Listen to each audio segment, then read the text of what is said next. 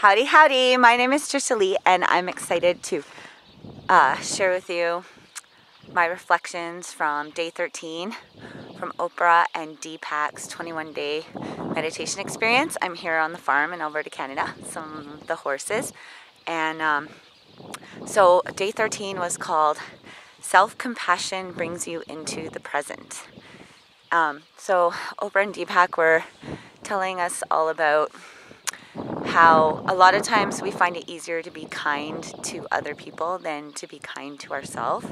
But uh, for me, the truth of the matter is is that um, unless we're compassionate with ourselves, we aren't truly being compassionate with others. So that kindness that we show to others um, will come off kind of phony if we aren't um, show, having that self love in our lives.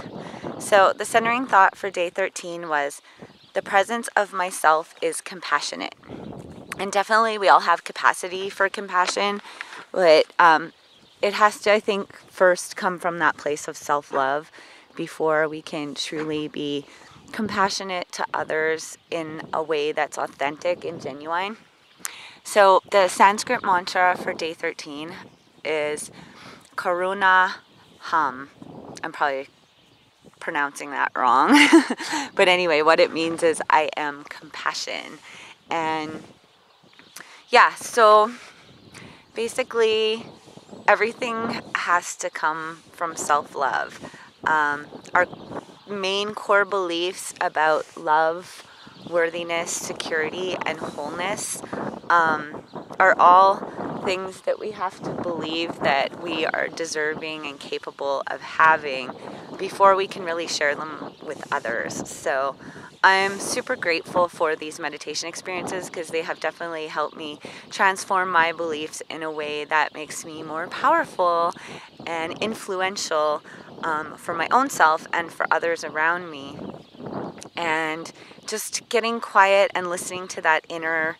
Um, inner self that has access to the infinite intelligence or the abundant wisdom of the universe or God, whatever you want to call it, when you ha- make that connection through prayer or meditation, um, it definitely it's like a guiding light in your life that just brings you closer to the kind of person that you want to be and to taking the kind of actions that will lead you um, to manifest the things that you desire in life. So that's my little rant from day 13. I hope you enjoyed it. Thank you so much for watching.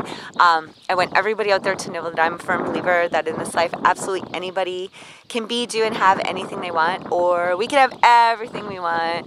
And I choose everything, and I hope you will too because you can. So ask me how. Go out there and have an amazing day. And if I don't see you in the future, I'll see you out here in the pasture with all the horses. Goodbye, horses. Bye, everybody.